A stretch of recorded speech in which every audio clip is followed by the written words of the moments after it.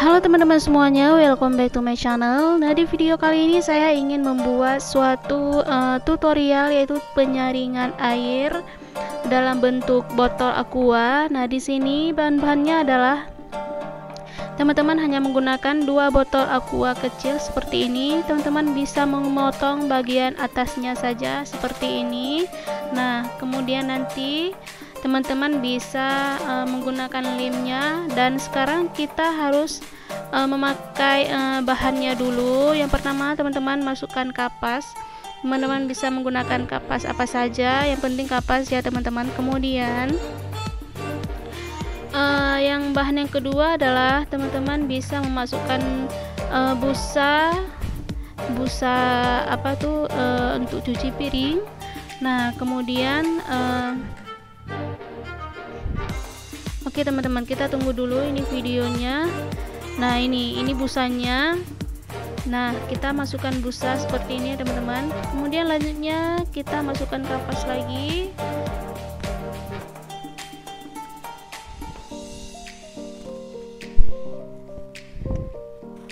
Oke, setelah kita masukkan kapas, baru kita masukkan batu kecil-kecil seperti ini ya teman-teman. Uh, kalau teman-teman tidak ada batu kecil-kecil bisa batu kerikil juga bisa.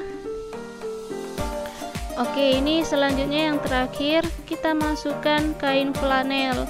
Kalau teman-teman ingin memasukkan kain uh, apa kapas lagi bisa. Karena di sini saya juga memasukkan kapas lagi yang terakhir.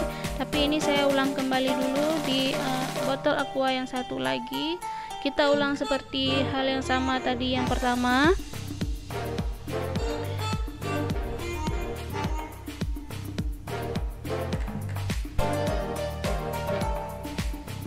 nah ini jangan lupa juga kita masukkan uh, batunya.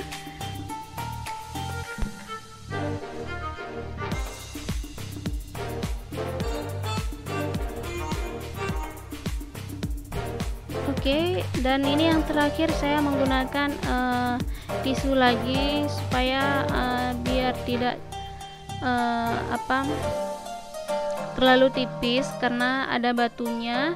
Nah selanjutnya baru kita uh, lem botolnya kita menempelkan uh, dua botol ini seperti ini teman-teman.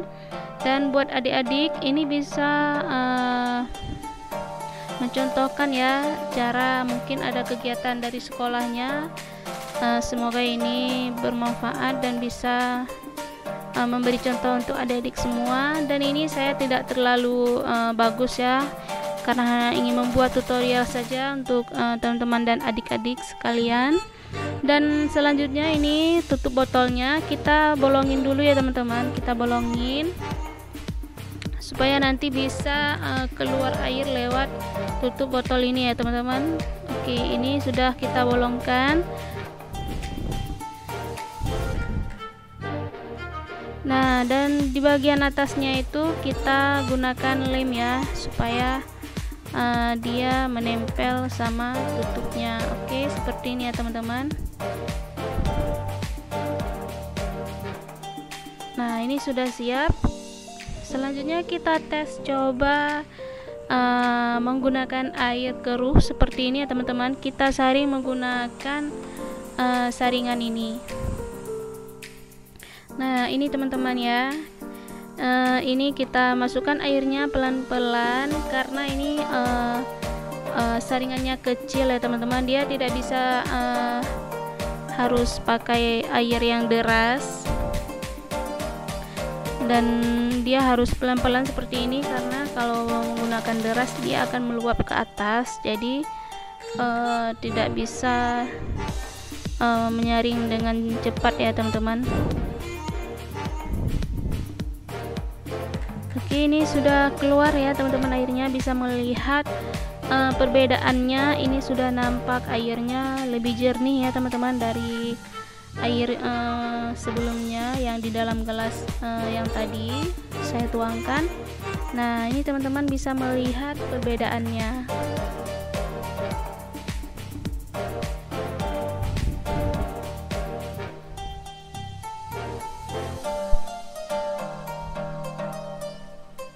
nah ini teman-teman saya akan menuangkan lagi biar sedikit lebih tinggi airnya.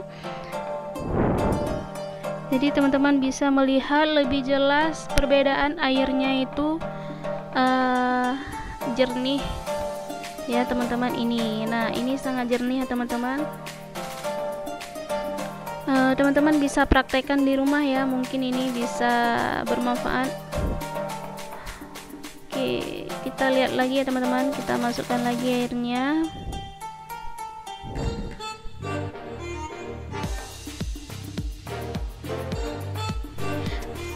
Nah, buat teman-teman uh, ini bisa melihat ya perbedaan airnya. Uh, Alhamdulillah berhasil ya dari air keruhnya sudah bening.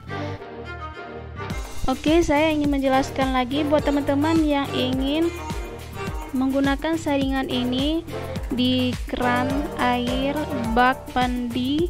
Nah, utamakan di sini uh, airnya mengalir dengan uh, pelan ya teman-teman jangan deras karena saringannya ini tuh kan sangat kecil jadi kemungkinan dia kalau airnya terlalu deras dan cepat bisa-bisa saringannya itu meluap dan